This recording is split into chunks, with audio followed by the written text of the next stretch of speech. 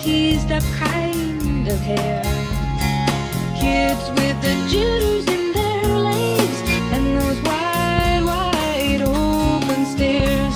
And the kids got cokes and chocolate bars. There's a thin man smoking a fat cigar. Dylan's life.